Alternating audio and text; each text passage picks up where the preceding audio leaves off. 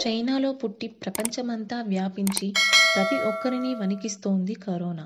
లాక్డౌన్లో తగ్గుముఖం పడుతుందని అనుకున్నా రోజురోజుకి కరోనా విజృంభిస్తూ పాజిటివ్ వచ్చిన వారి సంఖ్య ఇండియాలో ఎనిమిది లక్షలకు చేరింది. ఇది ఇలా ఉండగా తాజాగా బాలీవుడ్ మెగాస్టార్ అమితాబ్ బచ్చన్కి కరోనా పాజిటివ్ వచ్చిందని ఆయన తన సోషల్ మీడియా ద్వారా ఈ శనివారం అందరికీ తెలియజేశారు. నాకు కోవిడ్ పాజిటివ్ వచ్చింది. కుటుంబ సభ్యులు స్టాఫ్ అందరికీ టెస్ట్ చేశారు.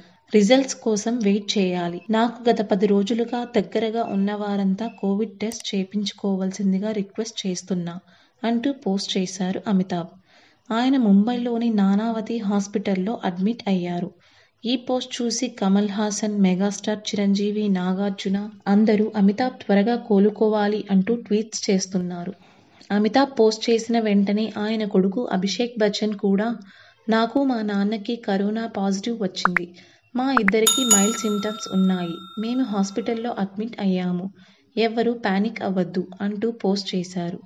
ఇది ఇలా ఉండగా ఐశ్వర్యారాయ్కి జయా బచ్చన్కి కూతురు ఆరాధ్య బచ్చన్కి నెగిటివ్ వచ్చిందని సమాచారం. ఈ వీడియో మీకు నచ్చితే లైక్ చేసి షేర్ చేయండి. అలాగే మరిన్ని ఇంట్రెస్టింగ్ అప్డేట్స్ కోసం ప్రసన్నాస్ క్రియేషన్స్ ఛానల్ని సబ్స్క్రైబ్ చేయండి.